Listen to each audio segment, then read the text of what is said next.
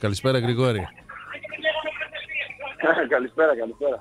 Χάθηκε ευκαιρία, Γιώργο, και για μένα και για το ενδιαφέρον. Με ρωτάνε συνεχώς, Γρηγόρη, εδώ μου στέλνουν μηνύματα. Με σταματάνε στο δρόμο εκπρόσωποι Ναι, του ναι, ναι, ασθενούς να πεις φίλου. πα- Πιο ασθενές δηλαδή τώρα, εντάξει, το ισχυρό είναι, αλλά τέλος πάντων.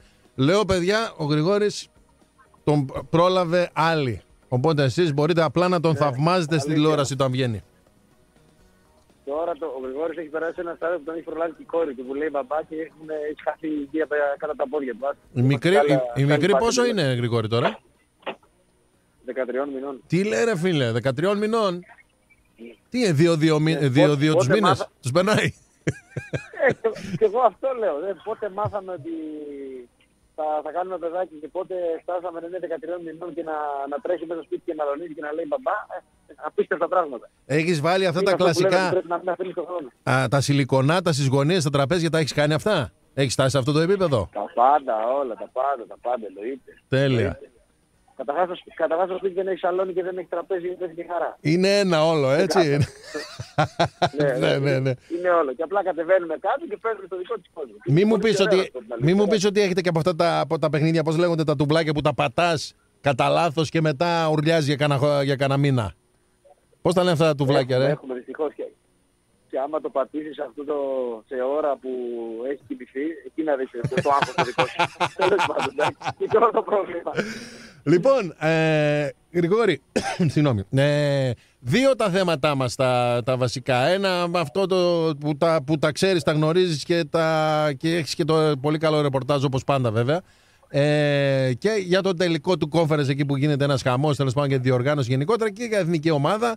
Ε, θα κάνουμε και ένα σχολιάκι πάω γιατί ε, με ενδιαφέρει πάντα το σχολείο σου για τον, ε, για τον Πάουκ. Το βλέπεις πιο ψύχρεμα εσύ το πράγμα και πιο ωραία, πιο σφαιρικά ε, από την Αθήνα. Ε, ξεκίνα από που θέλεις.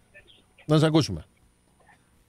Ας πάμε από τα, από τα πιο έτσι, σχετικά φρέσκα κουλούρια και θα αναφερθώ στο conference γιατί ο ΠΑΟΚ κατάφερε να, να προκριθεί και να είναι ζωντανός ακόμα στη διοργάνωση σε μια σπουδαία επιτυχία για τον ίδιο που θα τον ακολουθεί και τα επόμενα χρόνια με βάση την πρημοδότηση που, που θα έχει στη συμμετοχή στις ευρωπαϊκές διοργανώσεις.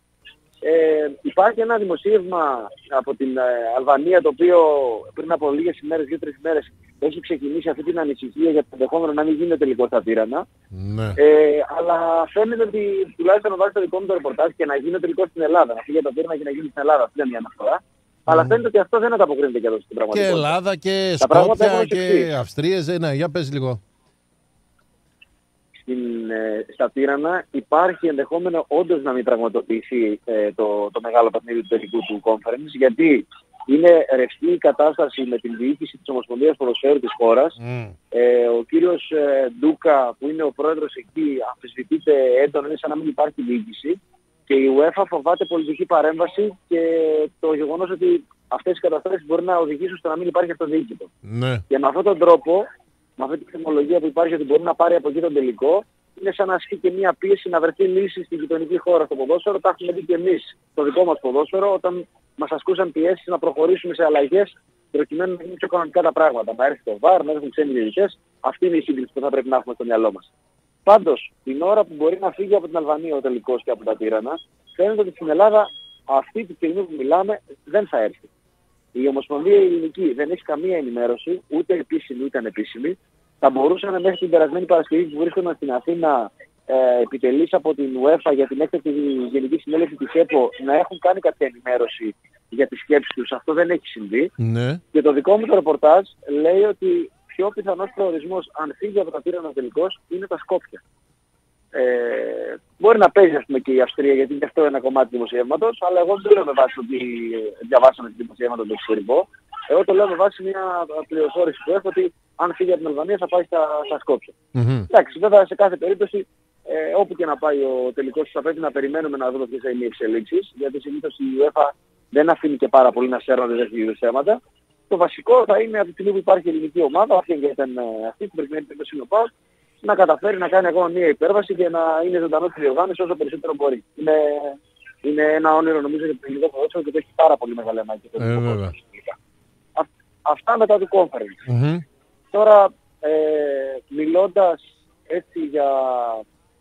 Ε, το δεύτερο που με ρώτησες ήταν για Έχουμε, την, έχουμε ένα για δρόμο την για να, Ελλάδα. τελειώσουμε, για να τελειώσουμε το conference. Να πούμε ότι έχουμε δρόμο ακόμα. Έχουμε δύο μήνες για το τελικό, έτσι.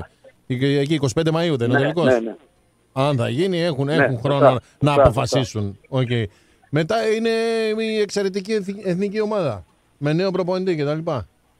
Διακοπή Η στο εθνική πρωτάθλημα και ομάδα τα η μάτσα οποία αυτά. ξεκίνησε- Σωστά, σωστά. Έχει μπροστά της να μετρήσει με τη Ρουμανία και με το Μαυροβούνιο. Είναι δύο φιλικά παιχνίδια. Ελπίζαμε το περασμένο φθινόπωρο να μην έχουμε φιλικά παιχνίδια και να συμμετέχουμε και εμείς στα μπαράζ του Παγκοσμίου. Δεν τα καταφέραμε. Ε, το θυμίζω για κάποιον που μπορεί να μην το έχει στην μυαλό του. Και για αυτόν τον λόγο μπή- ε, μπήκαν στη διαδικασία να κανονίσουν αυτούς τους δύο αγώνες για να μπορέσει η ομάδα να μην είναι σε αγωνιστική απραξία και να συναντηθεί. Νέος προπονητής ο κ. Πογέτο, ο οποίος βρέθηκε στον πάγκο της ομάδας και την προπόνησε για πρώτη φορά τη Δευτέρα. Ε, αρκετά τα, τα προβλήματα με βάση τις πρώτες κλήσεις που έχουν γίνει. Σκεφτείτε ότι ο Σταφυλίδης ήταν, στην, ε, ήταν, ήταν κανονισμένο να έρθει στην Ελλάδα και να συμμετέχει κανονικά ενώ και αυτών των δύο αγώνων δεν ε, θα έρθει. Είναι στη Γερμανία γιατί έχει ενοχλήσει στο γόνατο σε ένα τραυματισμό που τον ταλαιπωρεί. Τη θέση του κύριου Λίραντης, ο οποίος είχε κληθεί στην Ελπίδων, ε, εκτιμούν πάρα πολύ και ο κύριος Πογέτη και ο κύριος Κωνσταντινίδης το γεγονός ότι είχε εξελιχθεί πάρα πολύ σε μια ομάδα με πρωταγωνιστικό ρόλο όπως ο ΠΑΟ και έτσι δεν το σκέφτηκαν και πάρα πολύ και έδωσαν απευθείας την ευκαιρία. Υπάρχει και δεύτερο νέο πρόσωπο που είναι ο Χατζιωβάνης, ο οποίος βρίσκεται από χτες στις ε, προπονήσεις της ε, Εθνικής. Ωραίος Έχει ο κληθεί να Χατζηγιοβάνης. αντικαταστήσει τους, τους βρους... ε, παίκτες του Παναθηναϊκού. Ναι, ναι, Έχει τον κληθεί αγαπώ, να μου καλύψει αρέσει το πολύ. κενό που δημιουργείται στα, στα άκρα της επίθεσης γιατί και ο Βρουσάη αλλά και ο Μασούρας, οι δύο ποδοσφαιριστές του Ολυμπιακού, λόγω συμπτωμάτων ε, ίωσης έχουν αποκλειστεί ε, εντελώς από τις κλήσεις παρότι ήταν στον αρχικό σχεδιασμό. Άρα θα διοβάρει είναι ο παίκτης που έρχεται στη θέση τους. Μιλώντας λίγο για αυτές τις ημέρες, στην πρώτη συγκέντρωση υπήρχαν και δύο ακόμα απουσίες του ε, Βλαχοδήμου και του Τσιμίκα. Είναι ποδοσφαιριστές οι οποίοι βάσει προγράμματος ε, είχαν μείνει εκτός ε, της πρώτης προπόνησης γιατί θα έπρεπε να ταξιδέψουν για να έρθουν στην Ελλάδα και είχαν μέχρι ε, αργά ε, παιχνίδια, οπότε είναι κάτι το οποίο το ήξερε ο προπονητής. Από χθες προπονούνται κανονικά με την ομάδα και αυτοί οι δύο. Και επίσης ε, από χθες προπονείται με την ομάδα και ο Δημήτρης Ολυμπιός, ο οποίος ήρθε στην ε, Ελλάδα νωρίς, αλλά στην πρώτη προπόνηση έμεινε στο ξενοδοχείο, έχει ε, ένα κρύωμα, δεν φαίνεται να υπάρχει κάποια άλλη ανησυχία, γιατί έχει υποβληθεί και σε διαδοχικά τεστ, οπότε είναι κανονικά διαθέσιμος. Και σήμερα είχε προπόνηση το πρωί, νωρίς, συγκεκριτικά με τις προηγούμενες μέρες που έγιναν αποχηματινές.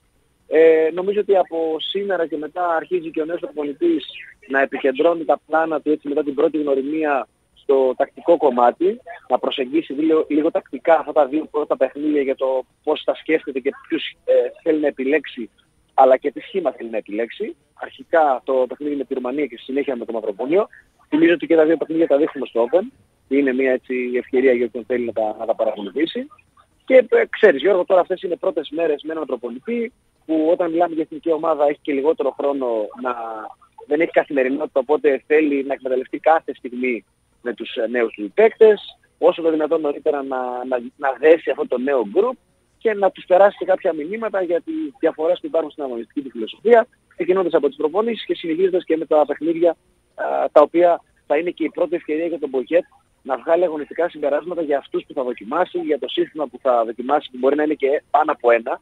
Προφανώς θα δούμε έτσι και εξεταμένο rotation και στις αλλαγές που, που θα γίνουν και στη διάρκεια των ε, παιχνιδιών και θέλει αυτά τα παιχνίδια έτσι να του δώσουν την ευκαιρία να έχει μια πιο καλή εικόνα για να αποφασίσει α, για τα επίσημα που έρχονται από τον Ιούνιο και έπειτα. Θυμίζω, Ναι. γιατί είμαι και ψηλοβέβαιος όταν μου το ρωτήσεις, δεν υπάρχει περίπτωση να το αφήσεις εσύ να περάσει έτσι αυτό, Ναι. ότι Μανολάς και Παπασταθόπουλος δεν είναι σε αυτές τις ε, κλήσεις, ούτε ο Σιώβας, ωστόσο, ε, όπως είχε πει ο κ. Πογέτ στη συνέντευξη τύπου της παρουσίασής του, η πόρτα είναι ανοιχτή, έχει γίνει επικοινωνία και με τους ποδοσφαιριστές τους συγκεκριμένους, αλλά και με πολλούς άλλους γιατί διαλέχθηκαν παίκτες από μια λίστα με περίπου 45 ονόματα. Σε πρώτη φάση δεν καλούνται για αυτά τα φιλικά παιχνίδια, είναι ανοιχτό όμως και αρκετά πιθανό θα πω εγώ, συγκεκριτικά με το, το ότι δεν ήταν πιθανό σε προηγούμενες φορές με τον κύριο Φανχίπ, να τους δούμε από τον Ιούνιο και μετά. Θα δούμε, είναι και θέμα κόπωσης σε κάποιες περιπτώσεις για κάποιους παίκτες, ε, οπότε έχει γίνει μια μεταξύ τους επικοινωνία και κάπως έτσι υπάρχει και από κοινού μια, μια τέτοια απόφαση. Πάντως είναι διαθέσιμοι και αυτοί οι ποδοσφαιριστές. Είναι, θυμίζω, μια νέα αρχή. Το έχει πει και ο προπονητής από την ώρα που ανέλαβε. Έτσι είναι. Λοιπόν, επειδή τις ε, προηγούμενες μέρες δεν μιλήσαμε καθόλου, θέλω ένα σύντομο σχόλιο από σένα για να σε αποδεσμεύσω και να σε ευχαριστήσω για τα κατορθώματα του ΠΑΟΚ των τελευταίων ημερών, τα ευρωπαϊκά και τα ελληνικά. Έτσι ένα σχολιάκι. Τα είπες στο, στο Open, πες τα και στο Λίμπερο. Θα σου θυμίσω ότι όταν ε, περιγράψαμε το παιχνίδι ε, του ΠΑΟΚ ε, που είχαμε στο σχόλιο το, το Μιχάλη τον Τζόχο, ε, στην αναμέτρηση αναφέρομαι με την ΑΕΚ το παιχνίδι που είχε αναβληθεί και είχε γίνει μεσοβδόμαδα για το πρωτάθλημα. Ναι. Ο Πάοκ είχε έρθει ισόπαλος με την ΑΕΚ με 1-1 Μμ. και σε εκείνο το παιχνίδι είχε, έπαιζε για, από το 19ο λεπτό με παίκτη λιγότερο. Ναι. Όταν τελείωσε το παιχνίδι, κάτι που μας είχε κάνει πάρα πολύ μεγάλη εντύπωση και το είχαμε πει μαζί και στο σχόλιο που μου είχες δώσει την ευκαιρία να κάνω την επόμενη μέρα που μιλήσαμε, είναι οι ψωμένες γνωστές του Λουτσέσκου και ο τρόπος με τον οποίο πανηγύρισε Μπράβο, εκείνη ναι. την ισοπαλία. Μας είχε κάνει τεράστια Άλλοι τον εντύπωση. Ναι. χλέβασαν, ναι, άλλοι τον χλέβασαν, άλλοι τον είπαν υπερβολικό, άλλοι δεν μπορούσαν να καταλάβουν για ποιο λόγο υπάρχει αυτή η αντίδραση. Προφανώς ο προπονητής του ΠΑΟΚ, θα πω εγώ για πολλωστή φορά, και ξέρει τι κάνει και τον δικαιώνει η συνέχεια του πράγματος. Σε εκείνο το παιχνίδι το σημαντικό ήταν η ομάδα του όταν δεν μπορεί να κερδίσει κάτι, και αυτό το είχαμε πει και πάλι μαζί, να μην χάσει. Και για αυτόν τον λόγο την πανηγύρισε αυτή την ε, ισοπαλία. Την πανηγύρισε γιατί είναι μια νοοτροπία που περνάει στην ομάδα, την εμπολιάζει, είναι αυτό που λέει από την αρχή της χρονιάς, αυτό που φαίνεται τώρα να το έχει πετύχει μετά από αρκετούς μήνες. Ο Πάοκ ό,τι και να παίζει δεν χάνει ή ε, για να τον κερδίσει κάποιος πρέπει να ματώσει και αυτό το Μμμ. έχει καταφέρει με πάρα πολύ κόπο. Και τώρα όσον αφορά Όσες το, το τελευταίο απουσίες, παιχνίδι για να όσες κάνουμε- απουσίες και όποιες Όσες απουσίες έχει. απουσίες, Ναι, ναι, όσες ναι. απουσίες. Καταρχάς ένα ρόστερ που όποιος θέλει να λέει την αλήθεια και να βλέπει τη μεγάλη εικόνα δεν είναι όσο πλούσιο θα έπρεπε και σε ποιότητα και σε βάθος στη φετινή σεζόν. Και το καλοκαίρι θα πρέπει με τη βοήθεια και του κυρίου Μπότου να γίνουν κέρυες παρεμβάσεις για να μπορέσει ο Πάου του χρόνου να διεκδικεί τους στόχους του ως φαβορή και ως πρωταγωνιστής και όχι να πηγαίνει με, υπερπροσ- με, υπε- με υπερπροσπάθεια να τους κλέψει. Ε, ακόμα και σε αυτό το ρόστερ, τις τελευταίες εβδομάδες γίνεται rotation από α, τα παιχνίδια τα μεσοβδόμαδα στα παιχνίδια της Ελλάδας στο Σαββατοκύριακο και είναι τόσο εκτεταμένο με αλλαγές 7, 8, 9, 10 παικτών που δεν καταλαβαίνει κανένας το ότι αλλάζει ο ΠΑΟΚ τόσους πολλούς παίκτες. Ούτε θέμα στην ομοιογένεια έχει, ούτε στην ατομική ποιότητα υστερεί. Όποιος και να μπει είναι παίκτης της ομάδας. Αυτό, το- αυτό που φωτογραφίζει, αυτό που περιγράφω, είναι το γεγονός ότι ο Τσόλακ, που είχε και ένα ψυχολογικό θέμα να βρει παιδιά, γιατί από ένα σημείο και μετά ξέρεις ότι ένας επιθετικός που τρέφεται με τα γκολ και η ψυχολογία του τρέφεται με τα γκολ, όταν δεν βάζει για πολλούς αγώνες γκολ και έχει μόνο ένα πέναλτι, το, τον παίρνει και λίγο από κάτω, Ε, αγχώνεται βέβαια. λίγο παραπάνω στα τελειώματα. Ε, βέβαια. Όταν ο Τσόλακ λοιπόν είναι ο βασικός επιθετικός του ΠΑΟΚ στο τελευταίο παιχνίδι με την ΑΕΚ και κάνει ένα πολύ ωραίο τελείωμα σε μια πολύ καλά α, εκτελεσμένη επίθεση, όπως όλες οι επιθέσεις που, που έκανε ο ΠΑΟΚ, που είναι κομμάτι της προπόνησης που κάνει, ε, αυτό νομίζω ότι δείχνει το ότι η ομάδα είναι σε πολύ καλό momentum. Αρχίζει και καρπώνεται τη δουλειά που έχει κάνει από το Γενάρη και μετά που δεν ήταν και τόσο πιεσμένη και είχε χρόνο να δουλέψει, γιατί και αυτό το είχαμε ξανασημειώσει. Και απλά θα πρέπει να κρατήσει αυτό το φορμάρισμα που έχει ο, ο ΠΑΟΚ και για να τελειώσει με τον καλύτερο δυνατό τρόπο ε, τις υποχρεώσεις του στην Ελλάδα, στο κύπελο να πάει μέχρι τον τελικό και να διεκδικήσει το, το δικό του τίτλο γιατί το πήρε και πέρσι από τον Μμμ. Ολυμπιακό. Ναι, βέβαια. Ε, στα play-off να μικρύνει τη διαφορά γιατί εσύ, το σημείωσα και σε ένα γράφο που έγραψα Πλασματική, στο DNA. πλασματική, Στο μυαλό όλων- 100%. Στο μυαλό όλων μας, ακόμα και των δημοσιογράφων, ο- το γεγονός ότι ο Πάουκ έχει περάσει στην Ευρώπη. Έχει μπροστά του το κύπελο που είναι ένας τίτλος. Και είναι μεγάλη απόσταση με τον Ολυμπιακό. Είτε αυτή όντως είναι πλασματική και δεν θα έπρεπε να είναι τόσο μεγάλη. Μας έχει κάνει να σκεφτόμαστε τα play-off ως μια διοργάνωση στην οποία εντάξει θα πρέπει η ομάδα να τη δει πιο διαφορετικά. Αυτό ισχύει για εμάς. Ούτε ο Λουτσέσκου, ούτε οι ποδοσφαιριστές δεν το βλέπουν έτσι και ξέρεις γιατί νομίζω ότι δεν το βλέπουν έτσι. Είναι σίγουρος για τον προπονητή τουλάχιστον. Γιατί ξέρει ότι αν η απόσταση με την οποία θα τελειώσει από τον Ολυμπιακό, που πιθανότατα θα είναι ο πρωταθλητής, είναι μικρή, αυτό θα παίξει πάρα πολύ σημαντικό ρόλο ε, στο ψυχολογικό κομμάτι και στο ξεκίνημα της προσπάθειας για την διεκδίκηση του προθήματος του χρόνου. Είναι άλλο να ξεκινάς έχοντας την περασμένη χρονιά 25 πόντους διαφορά από τον πρώτο και άλλο να είσαι στους 5, Ε, στους βέβαια. 8, στους 7 και να ξέρεις ότι είσαι κοντά και το έχασες λεπτομέρειες και να ξέρεις ότι το έχασες εκείνο τον καταστροφικό Νοέμβριο στον οποίο ενδεχομένως και ο προπονητής έκανε λάθη, σε κάποιες περιπτώσεις θα μπορούσε να γίνει διαφορετικά γιατί υπάρχουν αυτά και ένα στο ρόστερ. Ε, Οπότε αυ- αυτή είναι η εικόνα που, που έχουμε για τον Πάουκ νομίζω. Τη Μαρσέη πώς την έχεις στο μυαλό σου, κόντρα στον ΠΑΟΚ. Την Ως κλήρωση. μια πολύ μεγάλη ομάδα, ε, ως μια κλήρωση πολύ πιο δύσκολη από αυτήν ε, της ε, Γάνδης, καμία σχέση, δεν, δεν, δεν συγκρίνονται τα, τα μεγέθη. Όταν- Δεν κανείς το ρόστερ, αντιλαμβανόμαστε τον προπονητή. Όταν είδαμε, Γρηγόρη, όταν είδαμε τις ομάδες αυτές της πρωτοκλασσάς, δηλαδή Ρώμα, Μαρσέη, Αιτχόφεν και Λέστερ, ε, σκέφτηκες κάποια από αυτές ότι ποια θα τέριαζε περισσότερο, ποια θα κούμπονε ας πούμε πάνω στον ΠΑΟΚ; Καλύτερα. Από τους μεγάλους, εννοώ, από τις μεγάλες, τις δυνατές. Νομίζω ότι κα- σε αυτές τις περιπτώσεις η καλύτερη κλήρωση είναι αυτή που αποδεικνύεται καλύτερη με βάση το ότι την περνάει ο, η ελληνική ομάδα, στην προκειμένη περίπτωση ο, ο ΠΑΟΚ. Ναι. Ε, από τα, εγώ συγκεκριμένα δεν ήθελα κάποιο μεγαθύριο. Ναι, Γιατί ήθελες, ε. πιστεύω ότι σε αυτές τις περιπτώσεις είναι ευκαιρία να προχωρήσει η ομάδα και να πάει με βάση τις περισσότερες πιθανότητες.